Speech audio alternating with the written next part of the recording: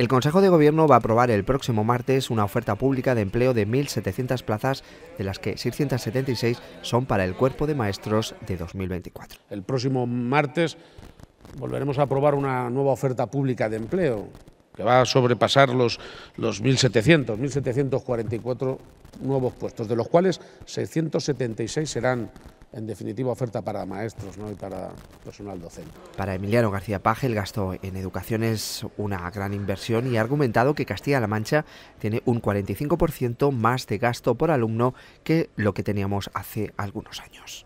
Estoy contento, sinceramente, y muy contento del trabajo. De hecho, no vamos a dejar de invertir. Hemos, yo creo que, que hoy Castilla-La Mancha tenga un 45% más de gasto por alumno que teníamos a lo mejor hace unos años, significa un esfuerzo colectivo, porque aunque la sanidad se lo lleva, se lleva mucho más gasto que nada, es para todos los habitantes. Todos somos usuarios de la sanidad a lo largo de nuestra vida. Pero el gasto que hay en educación, si lo proporcionamos, es para 400.000 alumnos, treinta y tantos mil docentes, es decir, en proporción para entendernos, es la parte más mollar del gasto público que no es por nada, lo pagamos entre todos con los impuestos. De manera que tiene mérito y tiene, mm, desde mi punto de vista, que es hacernos sentir orgullosos saber que es una eh, gran prioridad y que lo será. Y el que haya cada día más y mejor formación y más profesores. Declaraciones dentro del marco de la celebración del Día de la Enseñanza que ha acogido el auditorio José Luis Perales de la ciudad de Cuenca. No solo nunca vamos a salir de una crisis dejando de educar y de formar a los niños y a las niñas y a los no tan niños, sino que probablemente no seamos capaces de salir de una crisis de la que tengamos sin un buen sistema educativo. Esa sí que es una cosa elemental y clave, y clave. En este contexto, tras entregar 34 reconocimientos junto a la consejera Educación, Cultura y Deportes, el presidente ha dedicado sus primeras palabras para felicitar a toda la comunidad educativa y, como no podría ser de otro modo, a toda la sociedad conquense tras la designación de esta ciudad para el año 2022. Celebramos, querido alcalde, un, acto que es mucho más que de homenaje. ¿eh?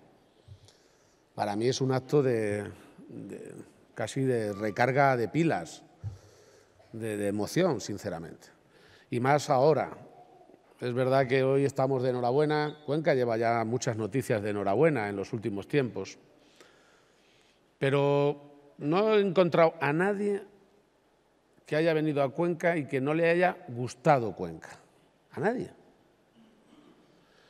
Y si a alguno no le ha gustado, pues a lo mejor lo que hemos hecho es no, no yo no lo tengo en cuenta.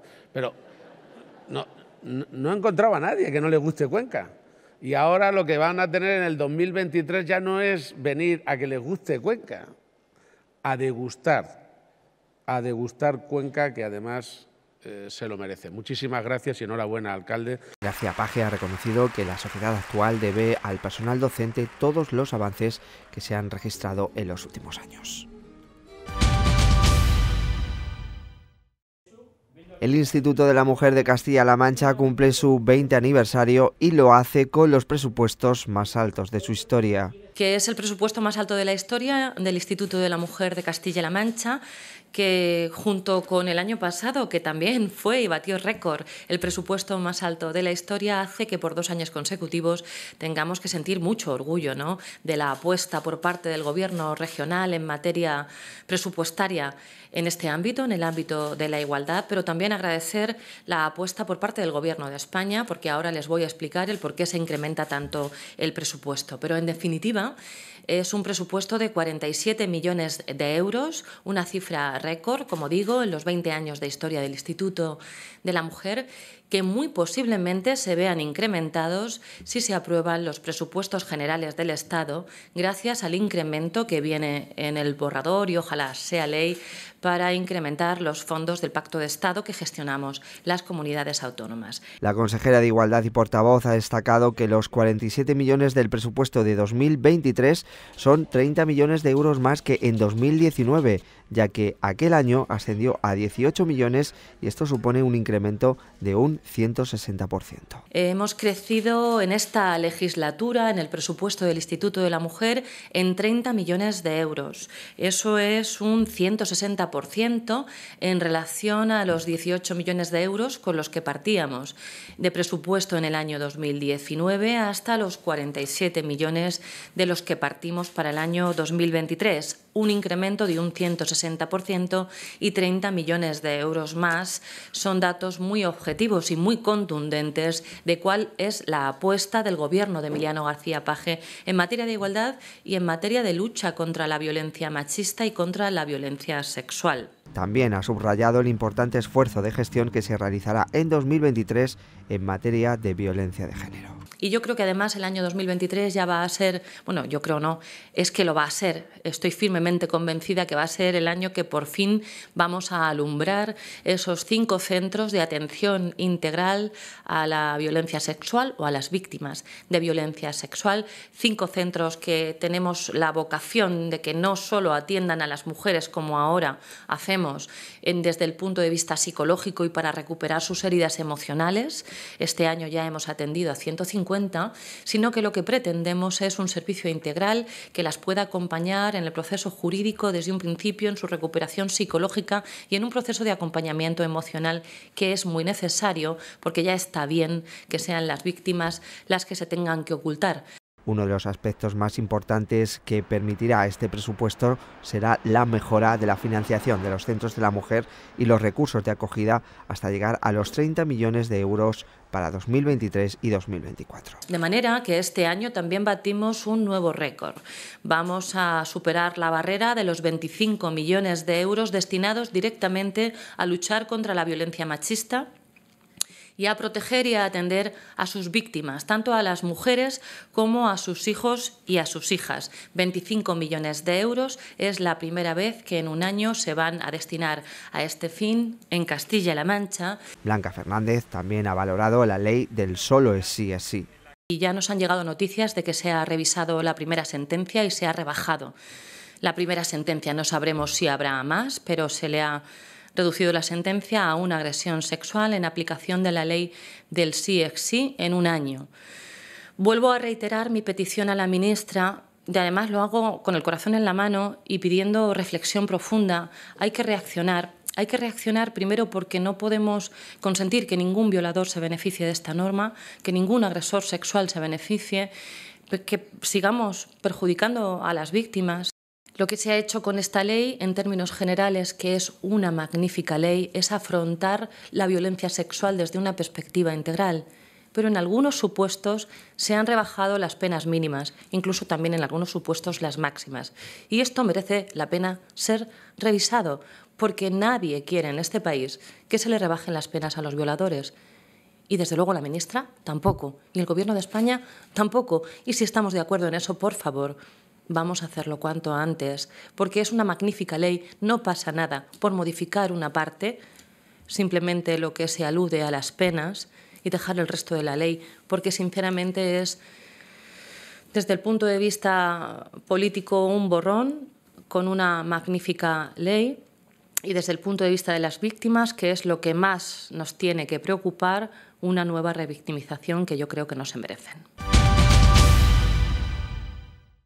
El senador del Partido Popular, José Julián Gregorio, ha asegurado que Castilla-La Mancha necesita un cambio y este vendrá de la mano del Partido Popular y de Paco Núñez. No podemos tolerar que Castilla-La Mancha siga siendo la región que soporta los mayores incrementos de impuestos. No podemos tolerar que el 60% de los fondos europeos de nuestra región sean devueltos por la mala gestión de Emiliano García Paje. No podemos tolerar que Paje se niegue a bajar el IRPF en su tramo autonómico. Ni podemos tolerar que se niegue a una bajada del impuesto de actos jurídicos documentados. Y lo que no podemos tolerar, por lo que los castellanos manchegos deberíamos alzarnos el 28 de mayo contra Emiliano García Paje y dejarle fuera de Fuensalida, es su negativa a suprimir el impuesto de sucesiones y transmisiones y siga obligando a que un hijo no pueda heredar la casa de su padre porque no puede hacer frente a ese impuesto de Emiliano García Paje. El senador del PP ha explicado que estas son las propuestas que quiere poner en marcha Paco Núñez y que ya han sido un éxito en otras regiones gobernadas por el Partido Popular. Pero aquí tenemos al rey de la comedia, de los telediarios, de la publicidad y de los anuncios. Y esto de ayudar a los ciudadanos parece ser que no va con Emiliano García Paje. El foro permanente por el futuro de Castilla-La Mancha que lleva a cabo el Partido Popular en la sede del Parlamento Regional ha contado hoy con la presencia de dos asociaciones, la de Industriales de Aceite de Oliva del Centro de España, Centro Oliva, y la Asociación de Enólogos de Castilla-La Mancha. Además, Núñez ha mantenido un encuentro con la denominación de origen Azafrán de la Mancha, como ya se ha explicado en anteriores ocasiones, este foro pretende ser una toma de contacto con la sociedad castellano-manchega por parte de los populares a fin de conocer sus inquietudes y problemáticas de primera mano para tenerlas en cuenta y buscarles soluciones parlamentarias. El gobierno de Castilla-La Mancha ha renovado el servicio de transporte interurbano de la localidad toledana de Olías del Rey, que contará con una nueva línea que llegará hasta el Hospital Universitario de Toledo. El consejero de Fomento, Nacho Hernando, ha explicado que la línea se ha diseñado de forma conjunta. Para poder llegar a esta infraestructura sanitaria. De ahí que esta nueva línea, con cuatro idas, con cuatro vueltas, con horarios adaptados a los turnos de los sanitarios, pero también adaptados a los horarios en los que se suelen dar las citas médicas para eh, aquellos vecinos y vecinas que tengan que acudir por una razón de salud. Hemos diseñado una línea que eh, nos va a permitir poder ofrecer un, un enorme servicio de calidad a los vecinos y vecinas de Orillas del Rey. En cuanto al presupuesto del servicio, Hernando ha informado que se van a invertir 385.000 euros en ambas líneas. 235.000 euros al año, perdón, en estos dos años, para mantener la primera línea que tiene 12 expediciones que llega hasta todo el, todo el casco urbano de Toledo y otros nuevos 150.000 euros para estos dos años eh, para esta segunda línea. Es decir, que incrementamos nuestra apuesta conjunta por la movilidad de Olías del Rey en un 64% para los próximos dos años. La renovación de este convenio se ha firmado esta mañana entre el consejero de Fomento y la alcaldesa de Olías del Rey, Charo Navas, en un acto al que también han asistido el director general de Transportes y Movilidad, Rubén Sobrino, el delegado provincial de Fomento, Jorge Moreno, y el concejal de Movilidad, Cosme Vega. La Peña El Trapío de Toledo ha dado a conocer su tradicional noviembre cultural y taurino. Para esta edición, la principal novedad reside en la vuelta a la presencialidad tras la pandemia, por lo que los aficionados de la ciudad y la provincia tienen una cita del 23 al 25 de este mes en el Aula Cultural Domingo Ortega de la Plaza de Toros de la capital. De este modo, el miércoles 23 será el turno de los ganaderos Víctor Guijarro y Nacho Torrejón, quienes, acompañados del periodista César Rivera, mostrarán los retos a los que se enfrentan. El plato fuerte de estas jornadas será la charla coloquio homenaje a uno de los toreros de plata más importantes de la historia. Será el viernes 25. El periodista toledano Mario Gómez será el encargado de acercar a los asistentes la figura de José Antonio Carretero. La Concejalía de Cultura del Ayuntamiento de Miguel Esteban y la Asociación Musical Santa Cecilia de la localidad han organizado diferentes actividades con motivo de la patrona de los músicos, Santa Cecilia concierto, pasacalles, procesión y la presentación de nuevos educandos son las propuestas de la fiesta de la música que se va a celebrar este fin de semana en Miguel Esteban. Actividades que comenzarán el sábado 19 con el concierto que la Asociación Musical ofrecerá en el Auditorio Municipal a las 8 y media. Con motivo del Día Universal del Niño, Aldeas Infantiles SOS ha presentado un informe sobre la situación de acogimiento familiar en España, un análisis que pretende determinar el nivel de bienestar de los niños y adolescentes que crecen en esta modalidad de cuidado alternativo, así como identificar los factores que favorecen su éxito o fracaso. El estudio realizado por Aldeas Infantiles es producto de una investigación que ha incluido entrevistas a jóvenes que han crecido en el sistema de protección, a técnicos de la administración pública y a personal educativo que trabaja en programas de acogimiento familiar.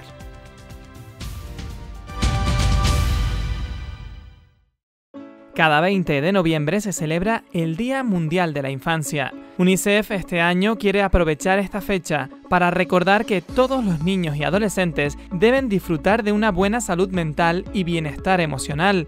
Según los datos de esta ONG, uno de cada siete niños de entre 10 y 19 años tienen un problema de salud mental diagnosticado. La mayoría de estos trastornos no se detectan y por tanto no se tratan. Pero UNICEF España quiere poner el foco en otro de los problemas que afectan a la infancia, la discriminación y el racismo. El futbolista Sergio Ramos se ha unido a esta iniciativa junto a otros futbolistas del mundo. Para todos aquellos que sufren discriminación en el deporte, mi mensaje para todos esos niños es que hablen, que los adultos estamos aquí, que estamos siempre presentes, que no se callen, que no guarden silencio a una injusticia tan grande. Que lo digan, que nosotros estamos para, para ayudarlo y para que con el paso del tiempo eh, todos puedan disfrutar de, de, de esa libertad y de un país libre donde puedan estar tan normal como cualquier otro niño. Ramos se une a los embajadores y colaboradores de UNICEF por la protección y salud mental de todos los niños para que estén protegidos de toda forma de discriminación, independientemente de su sexo, raza, religión, discapacidad, orientación sexual u otra condición.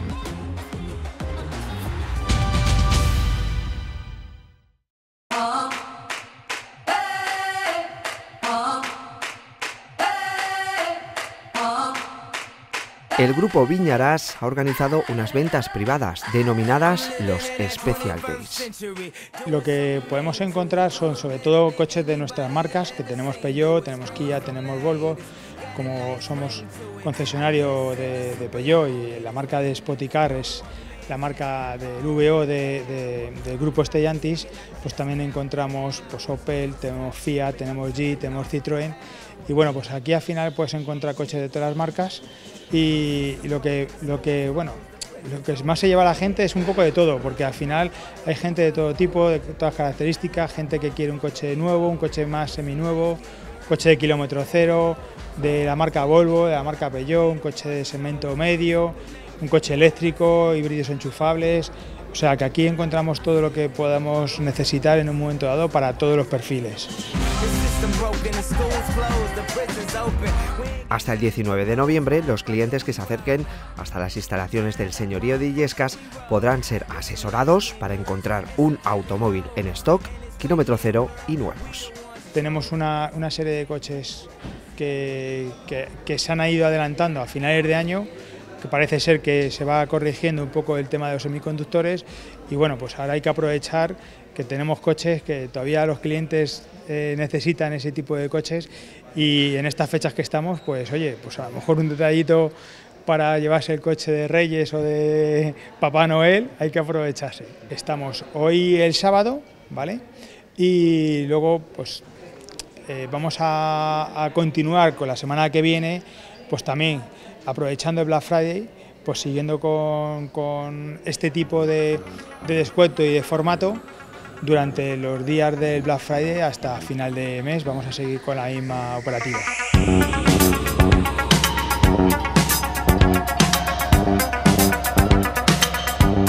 También habrá descuentos, financiación y hasta seguro del coche de forma gratuita.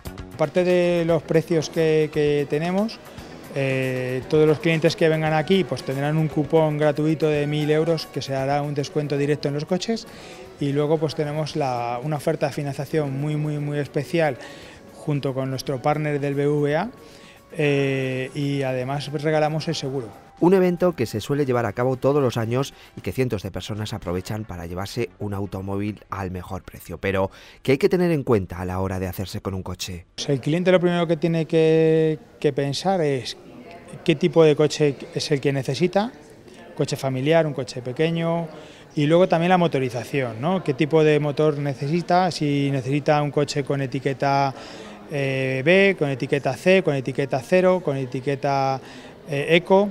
Entonces, bueno, pues eso también va a marcar la diferencia porque hoy día, pues todo, todo lo que podemos encontrar aquí son coches con, con, etiquetas muy ecológicas, con etiquetas eco, con etiqueta cero, que es lo que está demandando también el producto, el mercado y, la demanda de los clientes junto pues hay que cuidar un poco con el medio ambiente y aquí eh, marca Volvo es una marca pionera en electrificación, eh, Kia tres cuartos de lo mismo y, y el grupo Stellantis también se estaban poniendo eh, un poco a la vanguardia de la electrificación de los vehículos. Una oportunidad de tener coche nuevo en las mejores condiciones.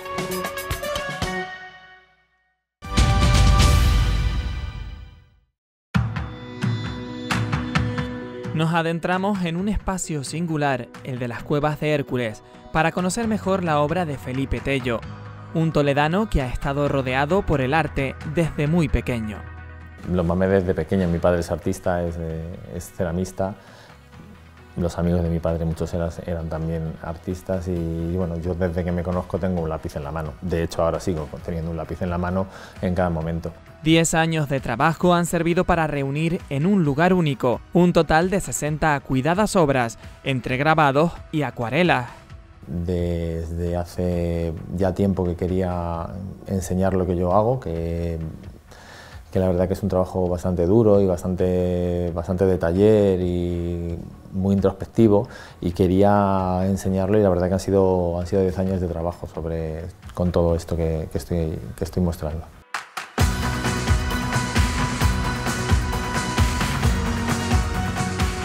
Selección siempre es dura. Cuando uno pone una exposición siempre lo que yo creo que lo suyo es poner lo que, lo que más te gusta a ti. Yo no pienso tanto en el público más que en lo que a ti te gusta, que al final suele coincidir con, lo que a la gente le gusta. Y es verdad que se han quedado unas cuantas obras sin poner, pero por, temas de espacio más que nada. No es porque, les faltara yo calidad, porque estaban, eran bonitas, pero por temas de espacio no hemos podido poner todas acuarelas y grabados de Toledo en los que no solo se plasman lugares icónicos de la ciudad, sino también aquellos menos conocidos o una sección dedicada a la tauromaquia conforman esta exposición a la que Felipe no ha querido poner título y que prefiere que cada uno descubra sin explicación previa. No soy de explicar el qué es lo que quiero lo que quiero expresar, sino yo creo que es más de que la gente vea a través de mi obra lo que yo quiero expresar. De martes a sábado en horario de mañana y tarde y hasta el próximo 26 de noviembre se puede visitar esta muestra en el número 3 del Callejón San Ginés.